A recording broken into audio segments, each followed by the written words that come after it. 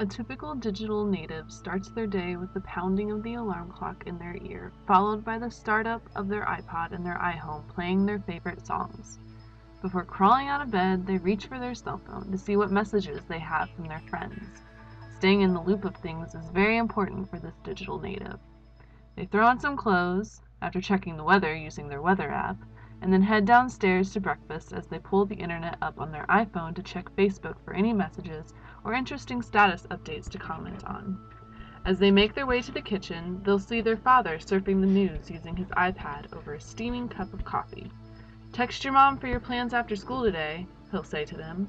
They'll nod in acquiescence before grabbing a breakfast bar and heading out the door because their friend just texted them telling them they're here to take them to school. The two will complain about the upcoming day of school, knowing it will be uneventful and lame.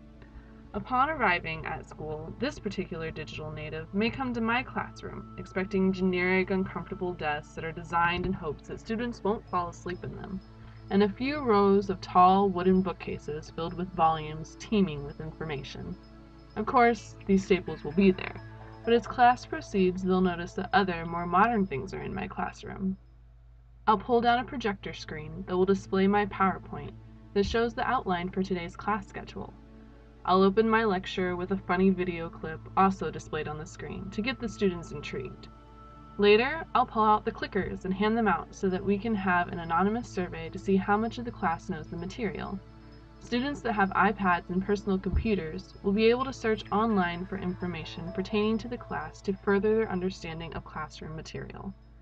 At the end of the day, this digital native will not feel so isolated from technology at school. Instead of the boring class where the teacher lectured all day, they felt involved and mentally engaged.